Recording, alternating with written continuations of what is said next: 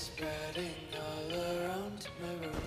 And it's so bright, it's hard to breathe, but that's alright. Hush.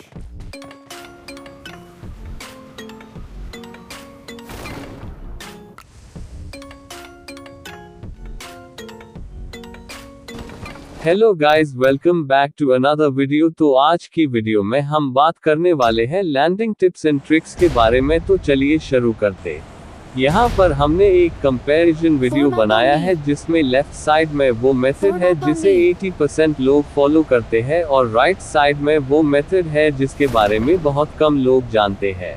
जैसा कि आप यहाँ पर क्लियरली देख सकते हो कि राइट साइड वाला कैरेक्टर पहले लैंडिंग कर चुका है और लेफ़्ट वाला अभी भी हवा में है और राइट वाले के टाइम है 19 सेकंड्स और लेफ़्ट वाले का टाइम है 26 सेकंड्स अब मैं आपको बताऊँगा कि फास्ट लैंडिंग कैसे करें तो सबसे पहले आपको मैप में लोकेशन मार्क करनी है। अगर आपने मैप में नोटिस किया होगा तो मैप में ये स्मॉल बॉक्सेस होते हैं, इनमें से हर एक बॉक्स 100 मीटर का होता है।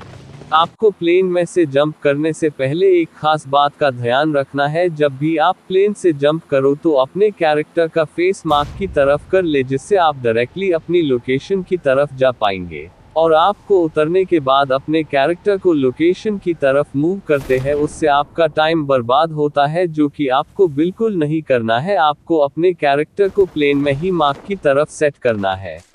जैसा कि आप देख पा रहे होंगे कि हमने उतरकर गन भी उठा ली है। लोग अभी हवा में झूल रहे हैं। अगर आप नहीं चाहते कि आपकी लैंडिंग लेट हो तो आप राइट तरह से उतरे और और जल्दी उतर के बंदों का काम तमाम कर दे। जैसा कि आप देख पा रहे होंगे कि हमने उतरकर गन भी उठा ली है। लोग अभी हवा में झूल रहे हैं। अगर आप नहीं चाहते कि आपकी लैंडिंग लेट हो तो आप राइट तरह से उतरे और और जल्दी उतर के बंदों का काम तमाम कर दे। क्या आपका साबुन स्लो है? हाँ भाई। क्या हर बार आपकी लैंडिंग लेट हो जाती है? हाँ भाई। क्या हर बार आप उतरते ही मारे जाते हो? अरे हाँ भाई हाँ। क्या आप चाहते हो आपकी लैंडिंग लेट हो नहीं ना तो वीडियो को लास्ट तक देखना। क्योंकि वीडियो के लास्ट में हम आपको पैराशूट की एक खास सेटिंग के बारे में बताएँगे जिससे आप फास्ट लैंड कर पाओगे। जैसा कि आप इस वीडियो क्लिप में देख सकते हो, मैंने पहले ही अपने कैरेक्टर का फेस पहले ही अपने मार्क की तरफ़ कर लिया है। इस वाली क्लिप में हम बात करने वाले हैं कि आप प्लेन से दूर लैंड कैसे कर सकते हैं। जैसे ही आप प्लेन से जंप करते हैं तो 200 मीटर ट्रैवल करने के बाद ही पैराशूट का ऑप्शन शो होने लगता है आपकी राइट साइड में। तो जैसे आपको ये दिखाई दे तो आपको तुरंत पैराशूट ओपन कर देना है। उसके बाद धीरे धीरे कुछ टाइम के बाद अपनी जॉयस्टिक को मूव करते रहना है, बिल्कुल इस तरह से।